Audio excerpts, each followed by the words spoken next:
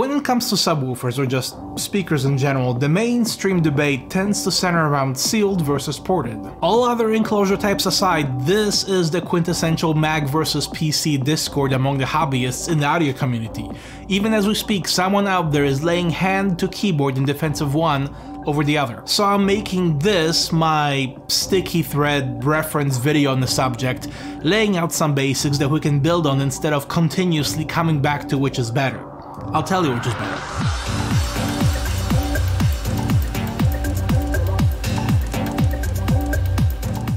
Okay, sealed versus ported. Right away, let's dispel the notion that one of these will always outperform the other. Think of them the way you'd think of a spoon and a fork. Same overall purpose, but the one you reach for will obviously depend on what you're eating. So if you swear by sealed enclosures, you're just as wrong as the guy who swears by nothing but ported enclosures. And that being said, let's dive in. A sealed enclosure is an example of a second order acoustic network.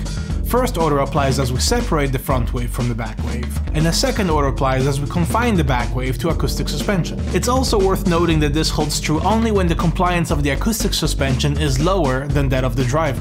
If it's higher, Technically, it's an infinite baffle and an example of a first-order acoustic network. This is also the only instance where the chamber volume is literally the only difference between two distinct enclosure types. By the way, if you're interested in learning how to count enclosure orders, check out the links in the description, you'll be the life of the party. Party of one. Sealed enclosures are at their best with low efficiency bandwidth product drivers. This breaks down to low free air resonance and soft electrical damping. The inherent benefit of a sealed enclosure is accuracy. When people say that sealed enclosures are for SQ, that's actually objectively true, especially when we define sound quality by the absence of distortion. And by distortion, I mean any deviation from or misrepresentation of the source signal, whether in terms of phase or dynamics or frequency response. Let's say that your bass is up 6 decibels above everything else. That's an example of distortion, 6 decibels worth. Your speakers are lying to you about what's happening down in that region. In any case, the fidelity of a sealed enclosure is inherent in its physical simplicity.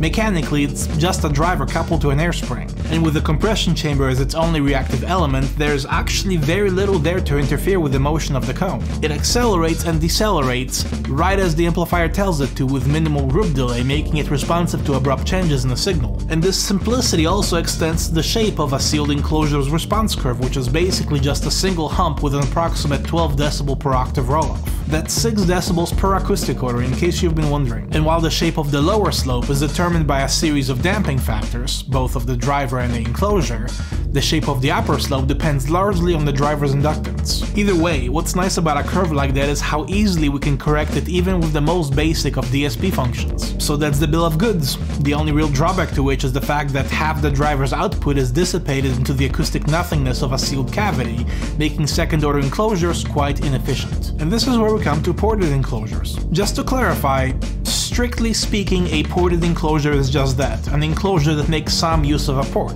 And as you can see in my video entitled The Best Port Video Ever, there's quite a number of things that fit that bill. Also, in my 5 enclosures you've never heard of video, you can see that there's really no limit on ways in which ports can be arranged around compression chambers. I'll leave links to all that stuff down below, but for the purpose of this video, we'll take ported to mean 4th order bass reflex, which is the general assumption anytime somebody brings up the sealed versus ported argument. Structurally, the only difference between a sealed and a ported enclosure is the port, and this form of a ported enclosure is an example of a fourth order acoustic network. How did we get to fourth order from sealed? By venting the chamber we made two things happen. First, we introduce the reactance of the air mass inside the port, and second, we introduce the reactance between the front wave and the back wave. Vented enclosures tend to do well with higher efficiency bandwidth product drivers, which doesn't necessarily mean high free air resonance, but strong electrical damping is a big factor. By and large, the key benefit of a ported enclosure is efficiency, and it is achieved by reinforcing the direct output from the driver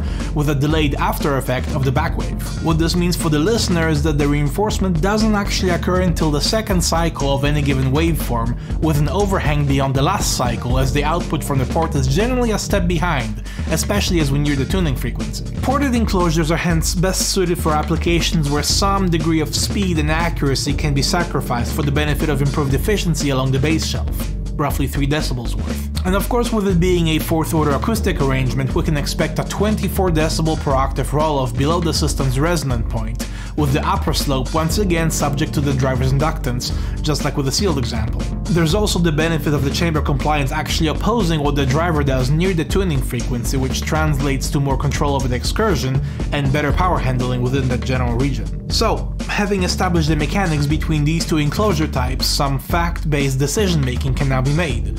Whether you're a critical or a casual listener, whether you value quality over quantity, there is a pretty clear-cut choice between sealed and ported. So is that it? Well, no, there's still a few things that can confuse the issue, and this is where we transition from the factual to the anecdotal. I really want to emphasize a split between what we've just talked about and what we're getting ready to talk about, so here's a quick unboxing interlude.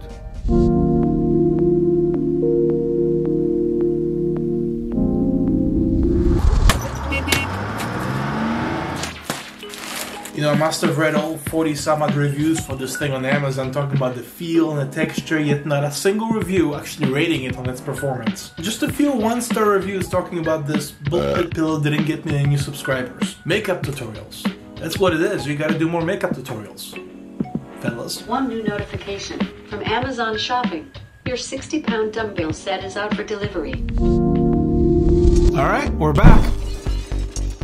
It'll be fine. So it's been my observation that to most people, the driver's compatibility with any particular enclosure style tends to be an afterthought, like long past the purchase. I got this super high efficiency bandwidth product sub because it looked so pretty with a big magnet. By the way, I need a no compromise SQ enclosure, so make it do, Mr. Wizard. And just like that, we find ourselves in a conundrum where the best enclosure for the job is not the best enclosure for the sub, at least between sealed and fourth order bass reflex, at which point we're right back to speculating which is better. This is the bulk of what a design engineer contends with, making the best of some technical compromise.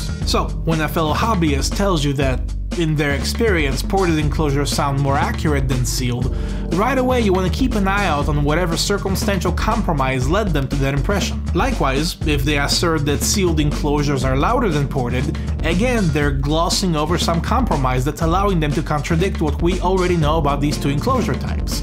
And a lot of it comes down to poor driver choice, which may not even be their fault. Certain manufacturers will market their subs as compatible with both sealed and ported enclosures when some acoustic modeling can demonstrate otherwise. So what will generally happen is that a stereo shop will look up the recommended box, grab a prefab that near as makes no difference matches it, stick the sub in and send the client on their way with a bad experience. Think I'm kidding?